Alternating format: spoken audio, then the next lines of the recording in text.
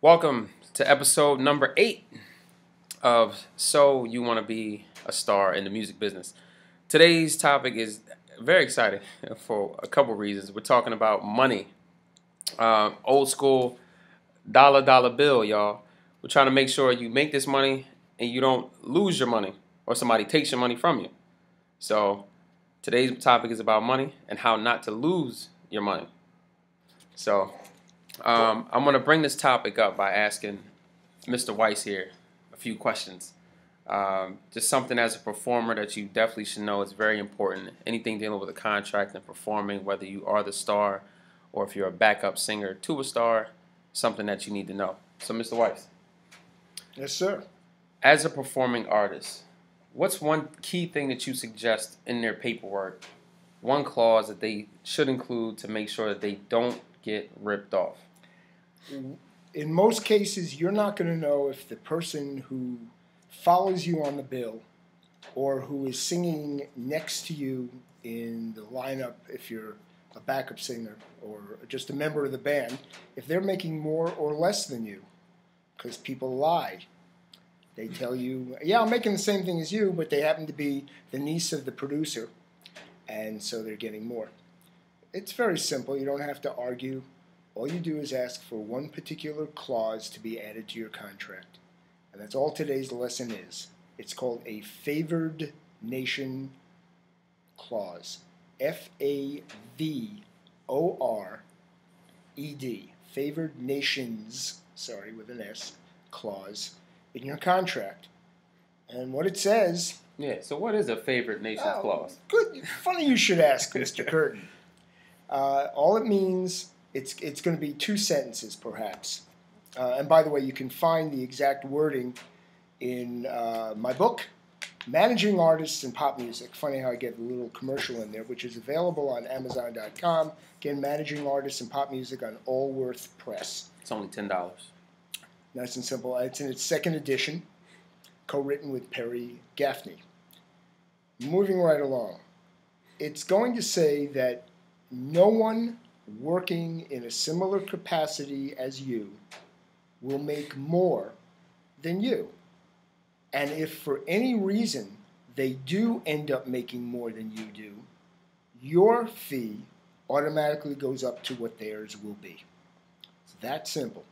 Because very often you may be the first or second artist to be hired, and you don't know in what order they're hiring. If, if you're in a festival and they have 20 acts, you don't know if you're the second act they hired and there are going to be another 18 after you. So this just basically says, hey, look, you, you know, Mr. Producer, you can hire whoever you want. Just make sure you know that if you end up paying somebody else more, you got to give it to me too. Um, if they say no, it's a big clue. Of course, if you're not a famous person and somebody hired as a famous person is uh, put on, most likely they are going to make more than you. So it is also fair for the producer to add another sentence saying, except in the case of a major star, but they should probably list exactly who they're thinking of right there. Um, and that's that's a really good point. It, it made me think of my old jobs, old part-time jobs. I should have talked to my managers about favorite nations to make sure these other guys weren't getting paid more than me. But like you mentioned, if you are the big star, mm-hmm. is there another type of favored nations clause for the, the bigger star? Excellent question, Mr. Curtain. Uh, it is a variation on a theme. It is called a more favored nations clause. And basically, all this is saying is I'm not making equal to everybody else here. I'm actually making more than anybody else being hired.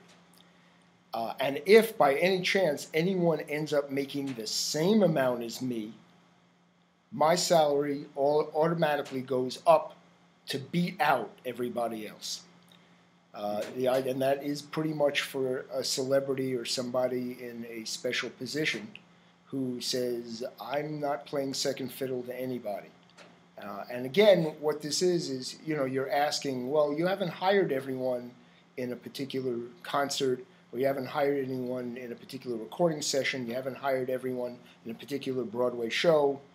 um, how do I make sure that what I'm agreeing to is not less than what somebody else uh, who is related to you or who tricked you is getting? Mhm. And that's why you ask for this. Very simple. You just go up to your agent, your manager, your lawyer, uh, the other side, and say, Can you just please add a favored nations clause, or can you just please add a more favored nations clause?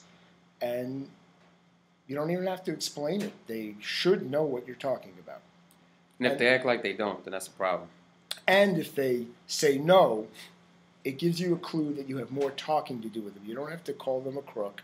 You just have to say, well, that tells me that you may be paying somebody more than me who's doing the same work. hmm Um, so can you please explain to me why and who you're doing it to? You at least have the answer. So to, that's today's lesson. Uh, we will have a lot more of these things. There are a lot more little clauses you can remember. And uh, we send a shout out today to Your book. my book.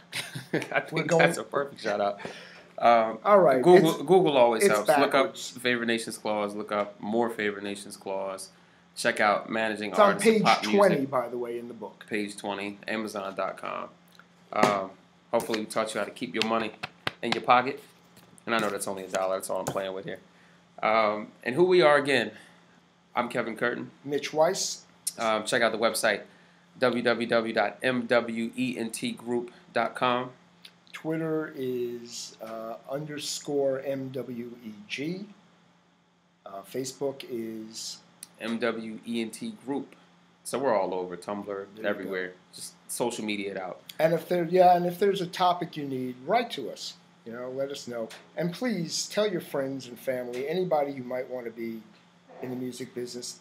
Uh, we're giving you basics, but keep your money. That's right. Until next time. Take care.